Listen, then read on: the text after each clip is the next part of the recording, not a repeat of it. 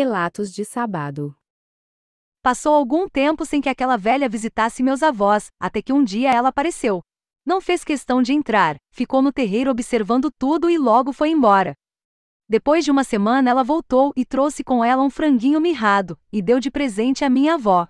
Minha avó aceitou de bom grado, já que tinha morrido algumas de suas galinhas e outros bichos também. A velha foi embora muito satisfeita. E meu avô não sabia disso, pois não teria aceitado o presente. Mas depois disso, as coisas dentro de casa começaram a mudar para pior. Começamos a adoecer sem motivo, febres, fortes dores no corpo, enxaquecas, etc. E pior, minha avó começou a ver vultos, chamarem o nome dela, sem ninguém chamar. O comportamento da vovó foi mudando, de calma e tranquila, para irritada e brigona por tudo, e assim começaram as brigas constantes entre meus avós. Brigas feias, e com muitas ofensas vindas da minha avó para com meu avô. Meu avô, não aguentando mais a situação com minha avó, saiu de casa e foi para uma mata próximo de casa. Lá ele sempre se recolhia para rezar.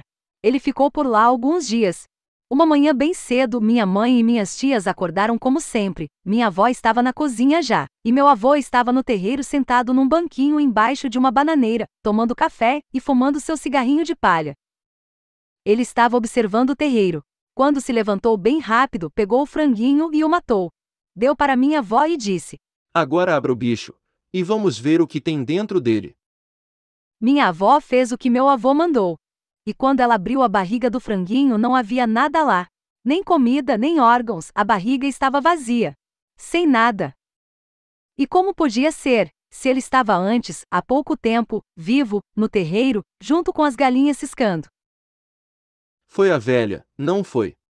Eu disse para vigiar. Mas pode deixar, ela vai sumir daqui para sempre.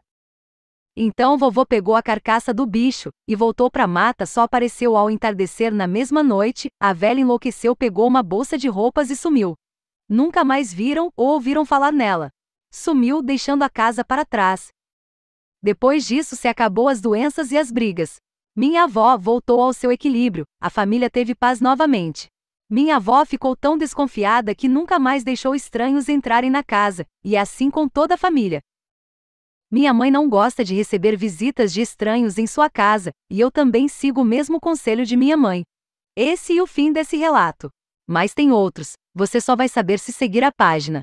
Segue aí!